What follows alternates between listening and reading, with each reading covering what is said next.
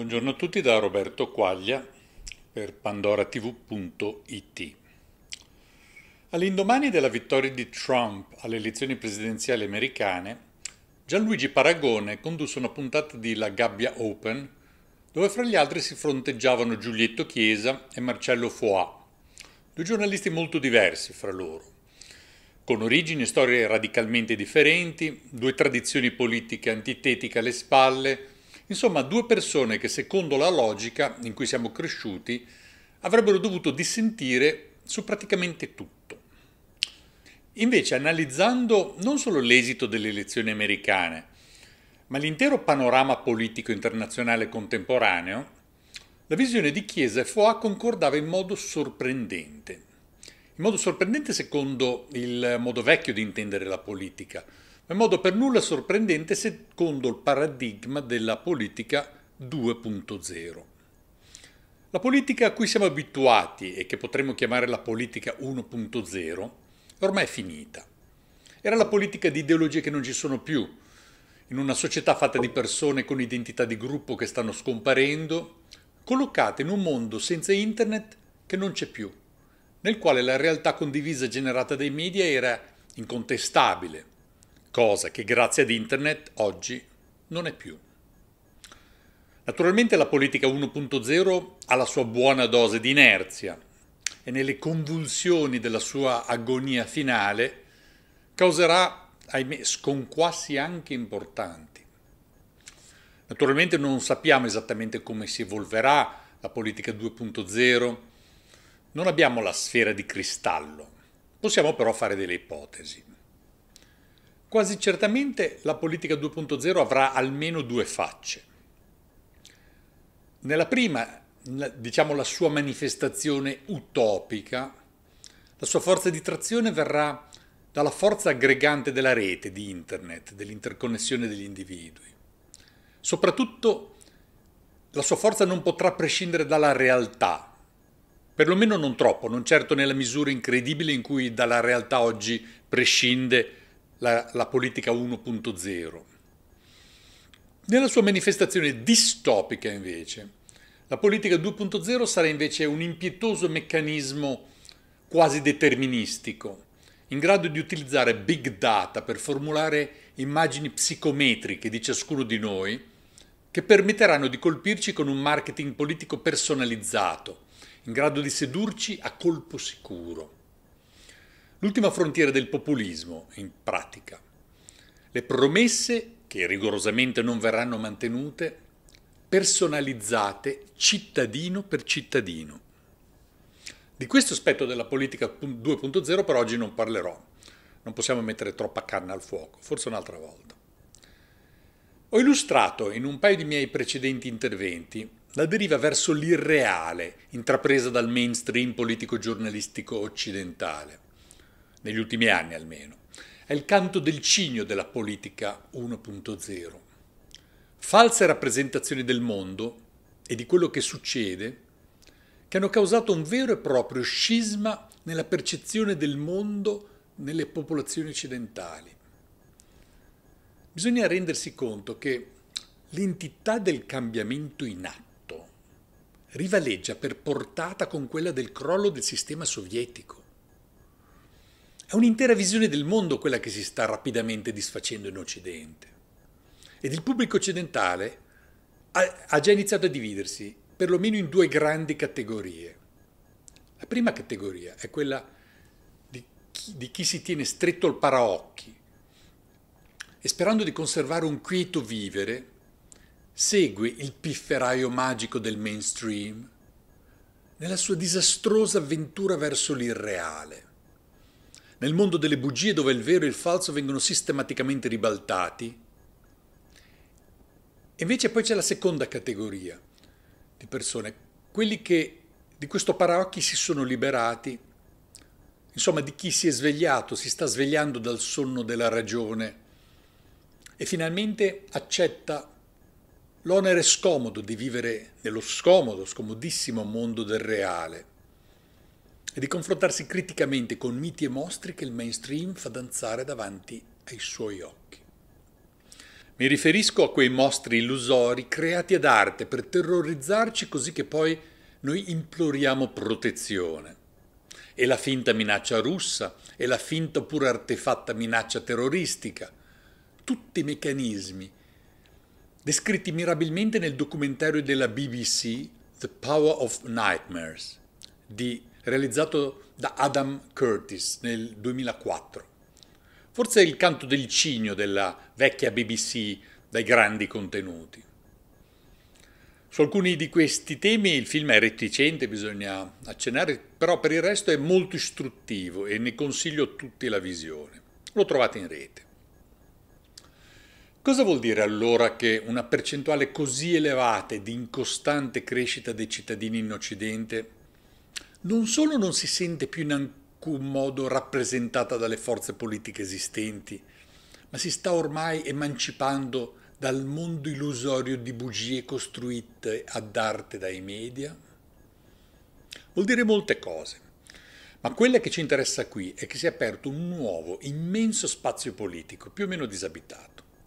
Nessuno ancora bene rappresenta questa crescente massa di cittadini che ha compreso gli inganni della narrativa mainstream e con essa quindi per sempre rotto i rapporti. È un vero e proprio movimento, anche se nessuno ancora lo ha bene definito. I guardiani dello status quo esorcizzano questo movimento, apostrofando come complottisti tutti quelli che anche solo di sfuggita ne facciano parte, o anche solo vi si avvicinino, essere, diciamo, in odore di complottismo. Ecco il mondo nuovo dove ricompare il concetto di eresia, travestito.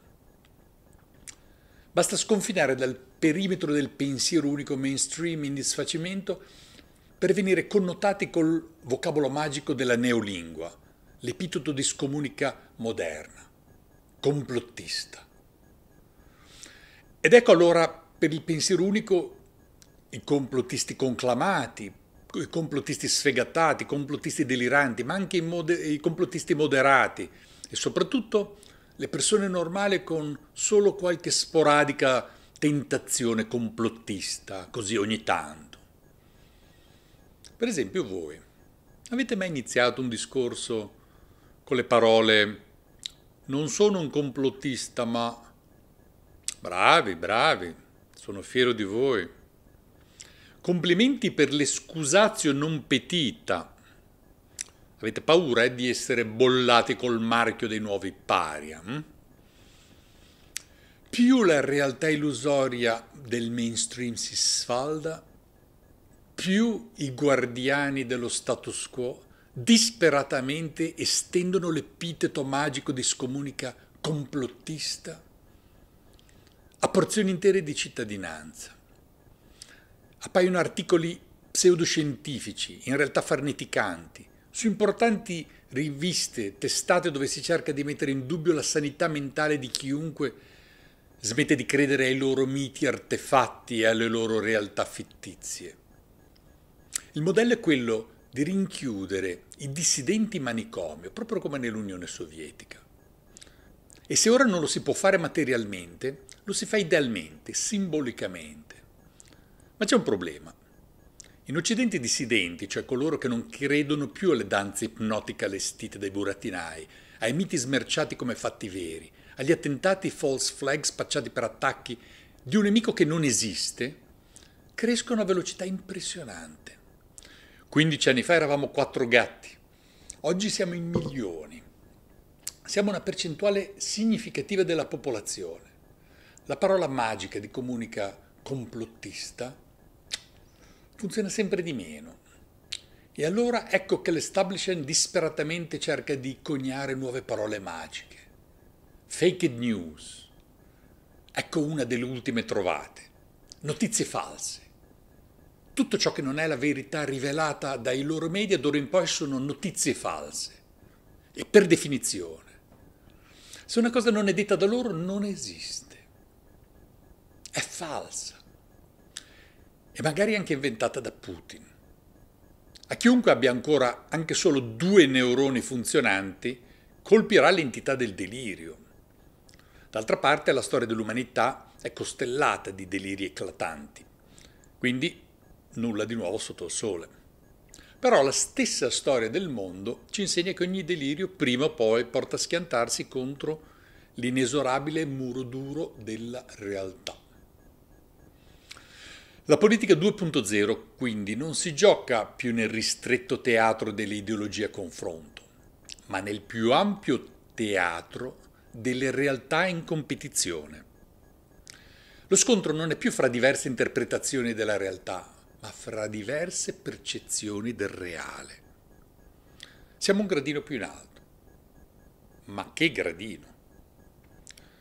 Nella politica 2.0 il dissidente non è più chi considera sbagliato il modello politico vigente, ma chi considera irreale la rappresentazione del mondo del mainstream. Il dissidente 2.0 ha le vesti dell'antico eretico e questo spiega perché il mainstream, anziché provare a controbattere alle istanze che esso presenta, preferisce bollarlo come matto, vuole escluderlo dal gioco. Il fatto è però che questi cosiddetti matti, chiamateli complottisti, chiamateli dissidenti, scegliete pure le etichette che preferite, sono sempre di più. Noi siamo sempre di più. Siamo così tanti da costituire ormai uno spazio politico. Siamo quindi un nuovo spazio politico, uno spazio composto da milioni di cittadini, tutti evasi dalla grande menzogna generale. Siamo persone anche molto diverse fra di noi. Fra noi c'è gente che si sente di sinistra, c'è gente che si sente di destra, di centro, oppure appartenenti ad altre tribù politiche ancora. Ma in comune abbiamo la cosa più importante. Ci siamo svegliati dal sonno della ragione e non crediamo più alla grande menzogna in cui sta sprofondando l'Occidente e tutte le piccole, talvolta ignobili, talvolta ridicole menzogne che fanno da condimento alla portata principale seppure con idee e convinzioni diverse, ci ritroviamo tutti in una nuova realtà, un nuovo spazio politico, che però non è ancora un soggetto politico ed è quindi logicamente del tutto privo di rappresentanza, un'anomalia. E allora cosa facciamo in questo, in questo nuovo grande spazio, in questa nuova realtà che ci siamo creati? Beh, c'è chi parla, c'è chi scrive, c'è chi, si, c'è chi si informa e c'è chi informa, ma soprattutto il comune denominatore ci lamentiamo tutti. La lamentela. Cos'è la lamentela? In questo caso è il nostro comune denominatore, ma cos'è la lamentela in sé? Nel nostro caso vuol dire sperare ed auspicare che qualcuno faccia le politiche che a noi paiono più appropriate e però rammaricarci passivamente del fatto che esse invece non vengano fatte, senza quindi assumere alcuna iniziativa concreta affinché i nostri desideri diventino realtà. Come si capirà non è esattamente il massimo della vita. Ma allora perché invece di lamentarci che non serve a niente e non cambia nulla, non facciamo qualcosa? O, oppure se già facciamo qualcosa, non ci rimbocchiamo le maniche e facciamo di più? E non mi riferisco, badate bene, a litigare, che qui sembra il passatempo preferito di tutti. Uno non fa in tempo a liberarsi dalla, dalla palude di menzogne mainstream e si ritrova subito invischiato in mille litigi con altri liberati bisticci su cosa sia vero e che cosa sia falso, su cosa sia giusto e cosa sia sbagliato, su cosa sia morale, su cosa sia immorale, chi più ne ha più ne metta. Favoloso. In pratica una sorta di divide et impera fai da te.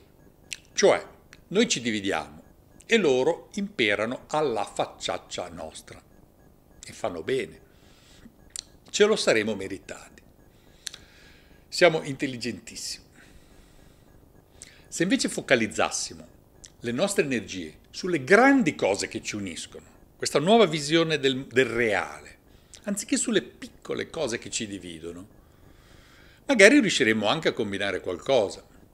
Insomma, venendo al nocciolo, o prendiamo qualche iniziativa oppure la smettiamo di lamentarci, perché è poco dignitoso.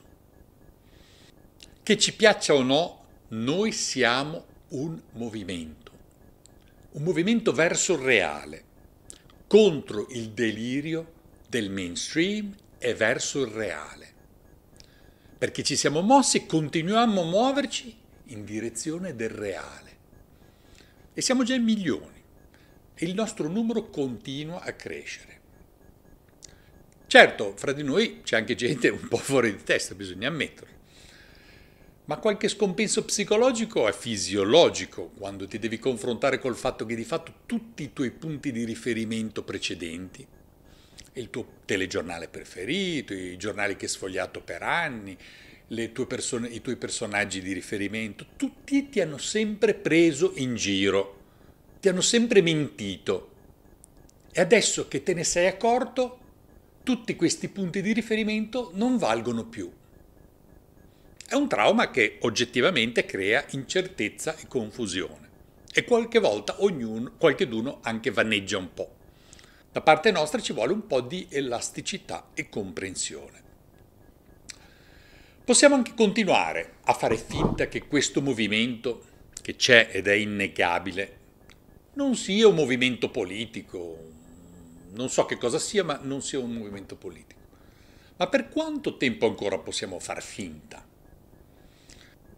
Meglio piuttosto, questa è la mia opinione, darsi una svegliata e comprendere che la politica 2.0 è veramente diversa da quella a cui siamo sempre abituati e molte delle sue proprietà ci sono ignote. Sono proprietà emergenti, come dice il bardo, lo scopriremo solo vivendo. E se non daremo forma a quelle parti della politica 2.0 di cui stiamo parlando, allora le altre parti, quelle della politica 2.0 distopiche ci travolgeranno e non avremo più alcun scampo, quelle di cui non ho parlato, quelle tremende che usano big data per entrarvi nel cervello e ottenere il vostro consenso. Diamo allora ancora un'occhiata al vecchio mondo in disfacimento della politica 1.0.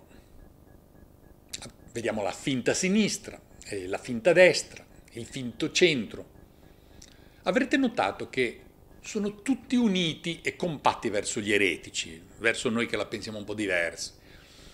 Per il semplice fatto che non ci beviamo più le loro storielle, le loro rappresentazioni, i loro finti bisticci. Tra di loro fanno finta di litigare, ma contro di noi sono uniti. Riflettete su questo punto. Noi invece tra di noi siamo tutti divisi. Loro sono uniti. Noi siamo divisi in mille conventicole, tutte che bisticciano une con le altre. Ed è qui che ci rendiamo conto che il vero scontro politico oggi non ha più nulla a che vedere con le categorie della destra, della sinistra e degli antichi schieramenti. Oggi il confronto è fra veri e propri mondi diversi, non più fra diverse interpretazioni della realtà, bensì fra vere e proprie diverse percezioni della realtà. Le categorie classiche della politica, per esempio l'approccio socialista contro l'approccio liberista e viceversa, sono oggi surclassate dalle emergenze categorie di categoria superiore. Il vero contro il falso, il reale contro l'irreale e viceversa naturalmente. Non è più una battaglia di opinioni, è una battaglia di percezioni. Chiariamo quindi subito bene a scanso di equivoci. Le differenze che separano le persone che si sentono di sinistra da quelle che si sentono di destra esistono davvero ed esisteranno sempre.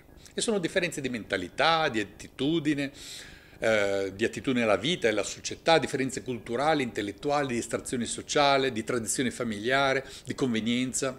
In altre parole, differenze antropologiche che riflettono un dualismo e queste differenze le troviamo in, uo- in ogni luogo del mondo, in tutti i popoli e non se ne andranno via. Fanno parte del mondo, fanno parte della, della specie umana.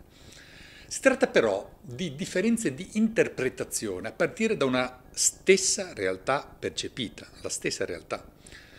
Ma la vera emergente divisione del mondo occidentale oggi è fra chi vive nel mondo creato dai media dai media mainstream e chi da esso invece si è emancipato e non ci vive più. Ed è per questo che oggi possiamo avere, come ho menzionato all'inizio per fare un esempio, due giornalisti così diversi fra loro, come Giulietto Chiesa e Marcello Foà, dalla stessa parte della barricata. Loro hanno capito. Ed in America possiamo avere, per esempio, un Paul Craig Roberts, ex membro del governo di Reagan, non so se avete presente, che però adesso è sullo stesso fronte di un Michel Shoshudovsky, professore universitario canadese di tutt'altra estrazione e direttore del sito di Global Research. Qui lo vedete adesso insieme a Fidel Castro, tanto per rendere l'idea. Nella politica 2.0 la logica degli schieramenti è cambiata, ha fatto un salto di qualità e prima lo capiremo tutti, meglio sarà. Evito adesso di includere l'argomento 5 Stelle in questo ragionamento perché essi costituiscono un'altra realtà più complessa.